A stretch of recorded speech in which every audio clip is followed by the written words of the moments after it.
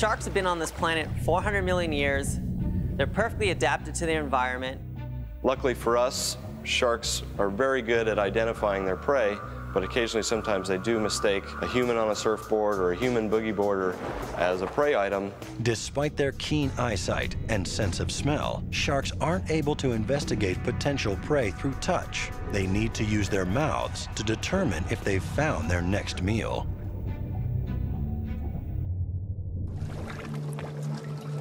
Sharks get a lot of information through their teeth. They have their own nerve supply and blood supply, and they can actually splay them out like cat's claws to kind of feel things. And it's just too bad for sharks that the same tool they use for feeling is the same tool that they use for eating. No matter how gentle they are, you're probably gonna feel it if they wanna inspect you.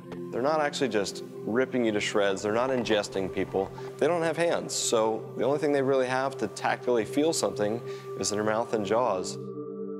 And there's been cases where a shark will actually come up, test bite something without its teeth really being fully extended, and it can do no damage at all. They're essentially just gumming it.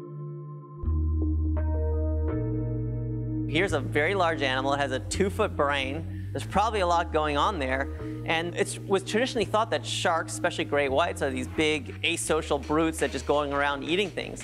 But what we're finding is that they're curious, charismatic, and I think there's something going on up there. We believe that sharks have got taste buds on the base of their teeth, and particularly in the case of great whites, what we inevitably find is a great white will bite into a human and nine times out of 10 spit the human out. We do not taste too good for, for great whites.